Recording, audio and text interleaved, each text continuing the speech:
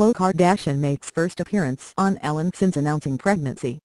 Khloe Kardashian covered her baby bump in a tight white dress for her first chat show appearance since announcing her pregnancy. The 33-year-old reality star for her visit to the Ellen DeGeneres show on Thursday wore an all-white ensemble. Khloe took to Instagram last month to confirm she was expecting her first child with boyfriend Tristan Thompson, 26.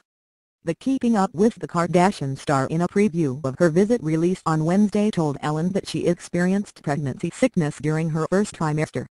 It's hard for me to breathe right now but other than that, I'm good, said Khloe who admitted being out of breath from walking to her seat on the stage.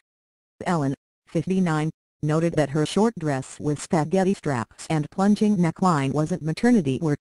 I'm trying not to wear maternity clothes for as long as possible, Khloe said. Ellen asked if she knew the sex of the baby and Khloe said not yet. There's too many surprises in this whole thing that I'm definitely going to know, she added.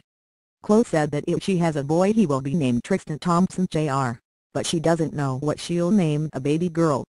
She said if it's a girl her name likely will begin with either a K or a T. Khloe said she made her pregnancy announcement on Instagram because she wanted to write something heartfelt I wanted to do it on my time and when I felt comfortable to do so, she said. Khloe also revealed that Tristan has more cravings than I do with his sympathy cravings leaning toward Jamaican food and chocolate chip cookies. She said Tristan who is a one-year-old with his ex-girlfriend has been super protective during her pregnancy. He's really a dream and I feel lucky, Khloe said. Ellen asked if they plan to get married and Khloe said she hopes so. But I'm not in a rush for any of that.